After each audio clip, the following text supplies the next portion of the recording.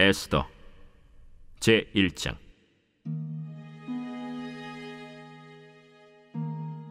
이 일은 아하수에로 왕 때에 있었던 일이니 아하수에로는 인도로부터 구스까지 127지방을 다스리는 왕이라.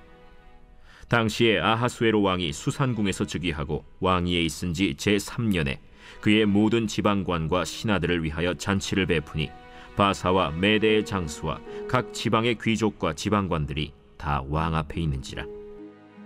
왕이 여러 날 곧 180일 동안에 그의 영화로운 나라의 부함과 위엄의 혁혁함을 나타내니라.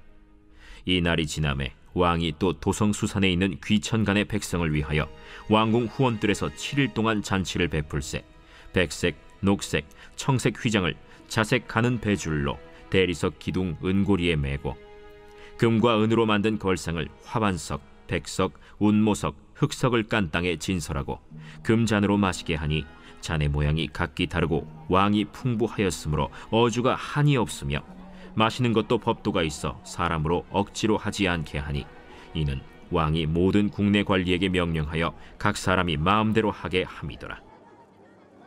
왕후 와스디도 아하수에로 왕궁에서 여인들을 위하여 잔치를 베푸니라.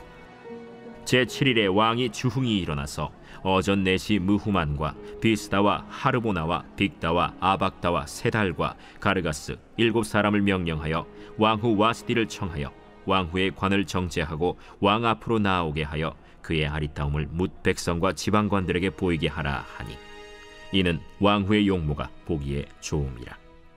그러나 왕후 와스디는 내시가 전하는 왕명을 따르기를 싫어하니 왕이 진노하여 마음속이 불붙는 듯하더라. 왕이 사례를 아는 현자들에게 묻되 왕이 규례와 법률을 아는 자에게 묻는 전례가 있는데 그때 왕에게 가까이하여 왕의 기색을 살피며 나라 첫 자리에 앉은 자는 바사와 메대의 일곱 지방관 곧 가르스나와 세달과 아드마다와 다시스와 메레스와 마르스나와 무무간이라.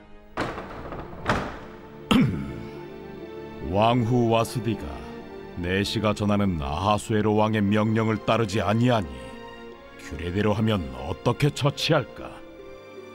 무무간이 왕과 지방관 앞에서 대답하여 이르되 왕후 와 스디가 왕에게만 잘못했을 뿐 아니라 아하수에로 왕의 각 지방의 관리들과 묻 백성에게도 잘못하였나이다. 아하수에로 왕이 명령하여 왕후 와스디를 청하여도 오지 아니하였다 하는 왕후의 행위의 소문이 모든 여인들에게 전파되면 그들도 그들의 남편을 멸시할 것인즉 오늘이라도 바사와 메대의 귀부인들이 왕후의 행위를 듣고 왕의 모든 지방관들에게 그렇게 말하리니 멸시와 분노가 많이 일어나리이다. 왕이 만일 좋게 여기실진데 와스디가 다시는 왕 앞에 오지 못하게 하는 조서를 내리되 바사와 메대의 법률에 기록하여 변개함이 없게 하고 그 왕후의 자리를 그보다 나은 사람에게 주소서. 왕의 조서가 이 광대한 전국에 반포되면 귀천을 막론하고 모든 여인들이 그들의 남편을 존경하리이다.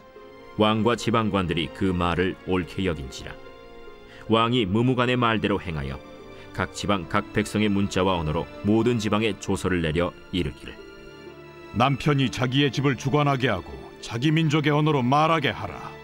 하였더라